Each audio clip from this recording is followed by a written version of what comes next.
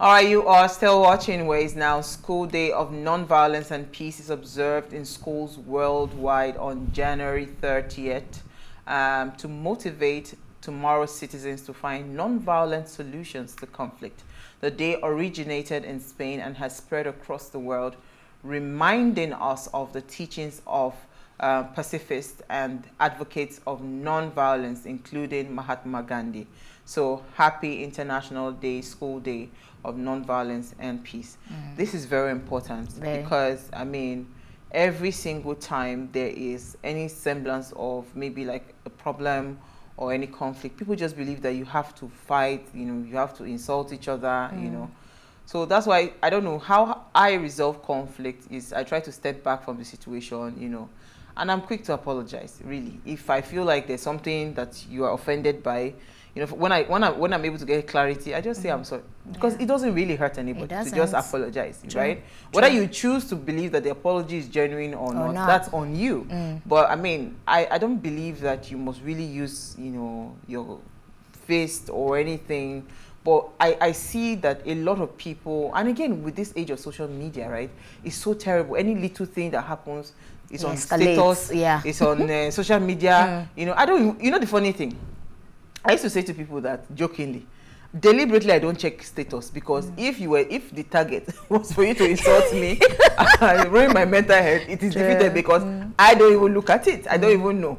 You know. So I mean, violence now has even moved beyond just picking up arms. Yeah. Violence right now, verbal violence, yeah. crazy. Yeah. A lot of people, you know, because you just see somebody says, "Go and kill yourself," and the person will truly go. Yeah. You know, so it's um it's something that we have to really be conscious of as a people and you know just you know as much as possible let peace guide us let you know no matter how offended i am mm. i can accommodate and tolerate but i just i will just be calm and quiet but mm.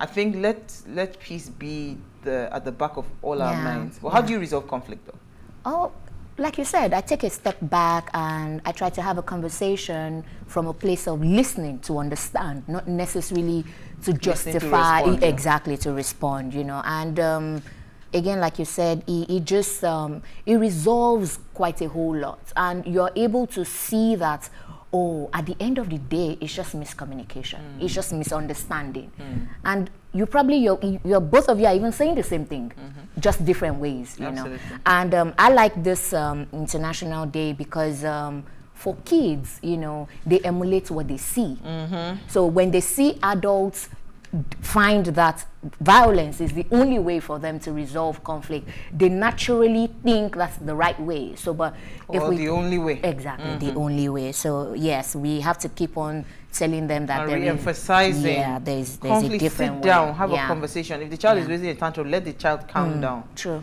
true, oh, ah, true me i've learned that one you can't get me to react i always respond mm. so i will stay quiet when you have done all your ranting i will come and respond to you back but hey i can't be we can't be all like that at all at all we need some some some people say they need some atarodo some ginger but let me take my story in line with violence right okay. um edo state there was an early scuffle this um, today. Mm. Um, young people protesting, they took to the street, burning tires, saying that the government, um, of course, they were just generally upset about the government and um, how, um, what's it called, things are hard, hardship and all of that. If they can find that video, you know. So what I was just, you know, worried for because um, can we, because we're talking about violence now, can we also express our views peacefully?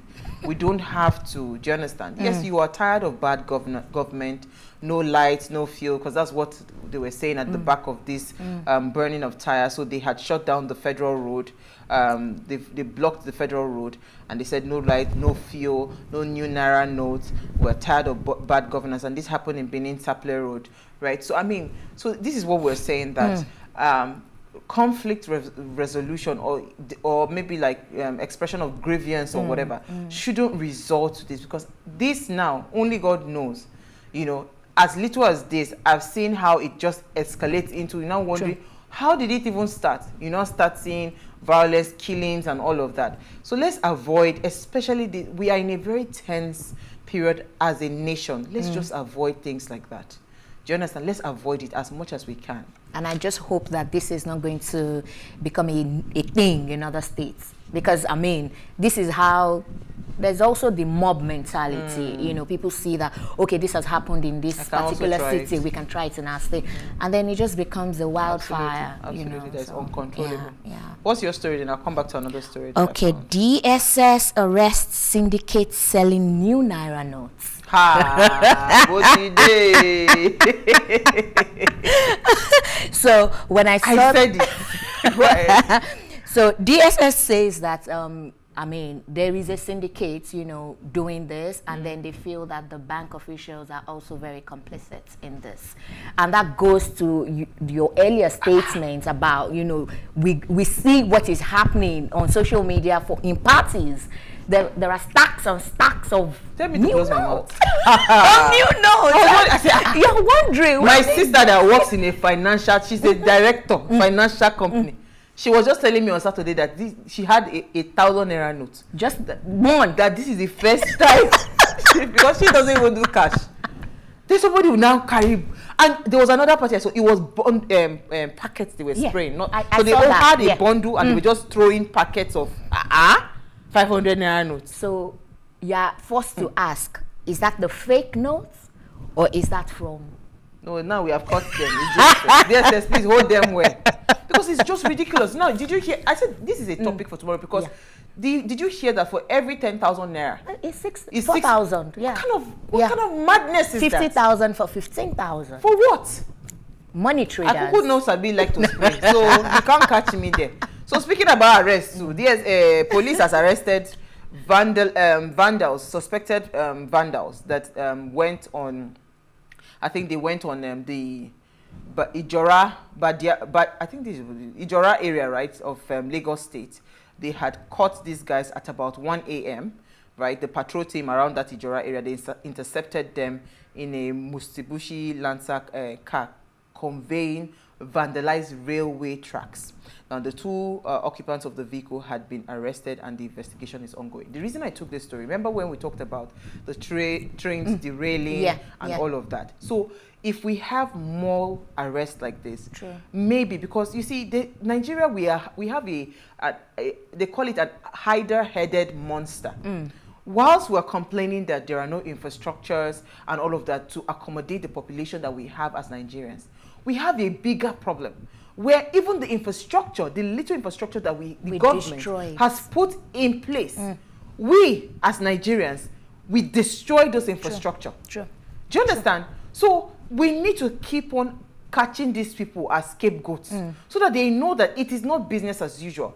I mean, you put the medians on the roads in the express, you see them, they go and roll up those barbed wires. Mm. The medians are there specifically so that people are forced to use the pedestrian bridges so that they will not be dead anymore while crossing the road. But it's just a complete, you know, it's just a complete it's a mess. mess. Really, it mess. is. I mean, I mean, I have seen situations where um, you find um, road hawkers, the guys in traffic, digging hole, potholes. Yeah. Thank Just you. So they can So you sell. can slow exactly. down so that it's they can sell. Wrong. And ah. I think we need to focus more on enforcement. Yes, and talking to ourselves. And yes. then advocacy. Advocacy. We need to teach people. People need to learn that it is beyond that cupboard you want to put it, in your pocket. It is. It Absolutely. is. It is. All right. So on that note, we're going to continue this morning matter tomorrow. we'll take a break now. When we come back from the break, we have Kunle Lawal with us. Stay with us. We'll be right back.